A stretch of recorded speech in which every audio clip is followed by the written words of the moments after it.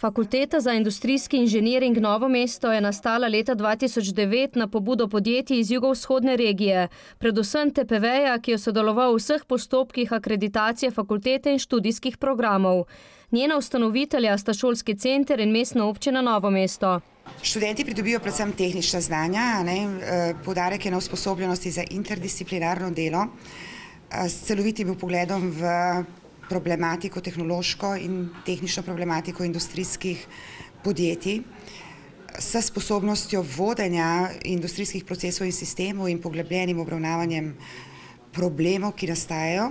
Šolski center skupaj z gospodarstvom je bil koordinator nastajanja tega programa oziroma tudi fakultete in danes ugotavljamo, da je to pravilna odločitev, saj že prvi diplomanti, kateri so se pojavili, so v gospodarstvu izredno iskani in prepričani smo, da tudi v bodoče bo ta fakulteta opravljala svojo pomembno funkcijo za zagotavljanje strokovnega kadra za naše gospodarstvo. Fakulteta je aprila letos pridobila akreditacijo magistrskega in doktorskega študijskega programa, ki omogočata nadaljevanje izobraževanja na fakulteti, ter hkrati dopolnjujeta in zaokrožujeta obstoječe programe prve stopnje. S tem se bodo še bolj približali potrebam gospodarstva, ki dnevno potrebuje njihov kader, je prepričana Smodejeva. Kot je povedala, gre za prvi doktorski študijski program na področju strojništva zunaj univerz v slovenskem prostoru.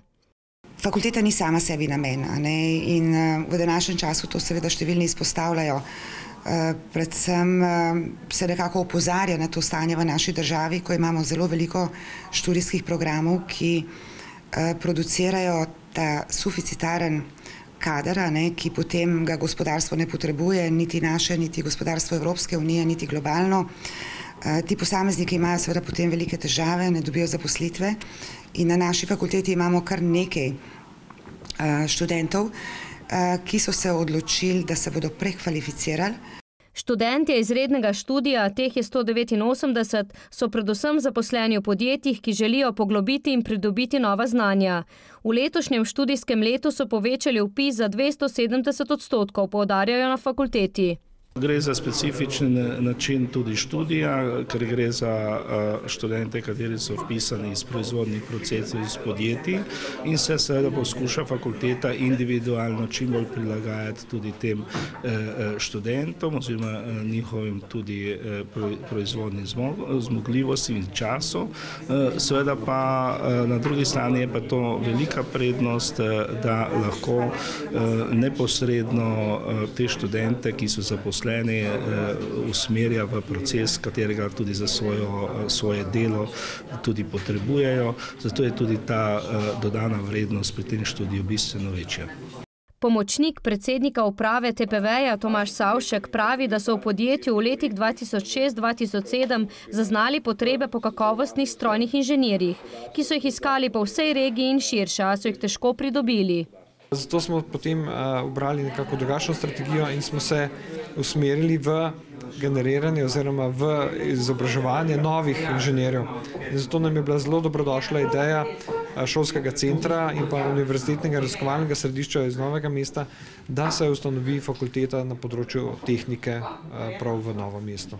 Ključna znanja seveda so povezana s strojništvom, od novih materialov, konstruiranja, proizvodnje, potem matematika, fizika in nenazadnje tudi kemija so tisti predmeti oziroma tiste vsebine, ki jih morajo naši študenti poznati. Danes s fakulteto sodelujejo na več ravneh. Med drugim nekateri zaposleni v TPV-ju, tudi Savšek, predavajo na fakulteti. V podjetju TPV oziroma v razvojnem centru Sijeva v poslovni enoti Novo mesto izvajamo tudi laboratorijske vaje in pa tudi fakulteta redno, skoraj vsako leto, študijsko leto pošlje tudi nekaj študentov na študij oziroma jih usmeri na študij na Fakulteto za industrijski inženiring v Novem mestu. Prednosti so predvsem to, da je relativno blizu, da je lokacijsko blizu, da ima zelo dobre in ažurne programe, študijske programe, ki odgovarjajo ne samo trenutnim potrebam gospodarstva, ampak so usmerjeni tudi v bodoče potrebe gospodarstva. So izred, predavatelji in nosilci predmetov spremljajo trende v tujini in še preden dejansko pridejo v, v, v uporabo, v industrijo, jih že študenti spoznajo lahko v okviru našega študija. Študenti Finija pa so tudi inovativni, povdarja Savšek. Naše študente tudi spodbujamo, da že v okviru seminarskih nalog in potem kasneje diplomskih nalog poskušajo dati ne samo, da preučujejo obstoječo literaturo, da študirajo obstoječe primere, ampak da vsako izdelek, ki ga naredijo, ali seminarsko nalogo ali diplomsko nalogo, daje tudi del sebe, da daje del svojega razmišljanja in da jih, jih eh, spodbujamo k razmišljanju in iskanju nekih novih idej, ki potem lahko peljejo naprej k inovacijam. Fakulteta je na letošnjem izboru najboljših inovacij gospodarske zbornice Dolenske in Bele krajine prijela srebrni priznanji in sicer sta bila inovatorja diplomanta Andraž Gunčar in Danilo Marinč. Slednje jo je izdelo o podpori TPV-ja. Letos pa je znotraj fakultete začel delovati še Center za izobraževanje in razvoj industrijskega inženiringa. Kot povdarja predstojnik Ivan Kralj, sicer direktor in lastnik šentjanejskega podjetja Arex, se usmerjajo predvsem v razvoj industrijskega inženiringa. Program bodo začeli izvajati jeseni, je povedal.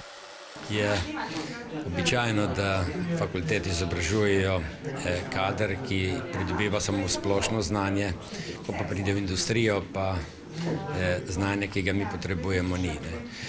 Eh, v zadnje čase Eh, postajajo ta znanja še bolj specifična, eh, eh, specifične tehnologije, ki jih ponavadi normalne fakultete nimajo v programih in za ta področja je prav to, gotovo to ena tržna niša tudi za Fini, da najde svoje mesto. Istočasno pa je to potreba gospodarstva tele naše jugovzhodne regije. Posebna je tudi vojaška industrija, ki je zajeta v bore malo programih splošnega izobraževanja, dodaja kralj. Za naše podjetje pa je eh, Fini kot prvo pomemben, ker je v našem področju in ker pričakujem, da bomo pridobili ljudi, ki so že pri nas, ki so zaposleni, ki imajo že določene izkušnje, da jih poskušamo iz srednješolskega programa usmeriti v eh, višji program. Ne. Eh, s tem bodo pridobili neke znanja, istočasno pa tudi izobrazbo, ki je nujno potrebna. Fakulteta je tudi mednarodno usmerjena. Se zavedamo, da delujemo v globalnem okolju, torej da nismo del eh, zaprtega prostora Slovenije, ampak da je naše okolje Evropska unija in tudi v končni fazi cel svet. Pridobivamo sodelavce tudi na globalnem trgu. Kot sem rekla, je fakulteta prva in edina fakulteta zaenkrat v Sloveniji, ki je članica globalnega partnerstva, ki vključuje 55 visokošolskih inštitucij v 31 državah sveta, torej Afrika, Azija, Severna in Južna Amerika in pa Evropa. Začeli smo že s projekti z dvemi univerzami in teh inštitucij je toliko, ne, da jih bo dovolj za kar dolgo življenjsko dobo naše fakultete. Pogodbe in sporazume, tako smo dejeva, imajo sklenjene s podjetji v najmočnejših državah.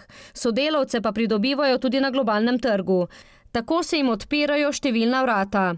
Ponosni smo na našo jugovzhodno regijo, ki je gospodarsko močna, kjer posamezniki uh, delujejo in uh, na teh globalnih trgih in danes, če želiš preživeti na globalnem trgu, moraš biti res dober. Enako kot so ta naša podjetja uh, dobra, in jih poznajo v svetu, a ne smo pripričani, da tudi ni nobenega razloga, da naša fakulteta ne bi postala odlična fakulteta, mehna fakulteta, prepoznavna fakulteta, na katero bodo želeli prihajati tudi posamezniki iz tujine. Tako kot njihovi študenti odhajajo na študij v tujino.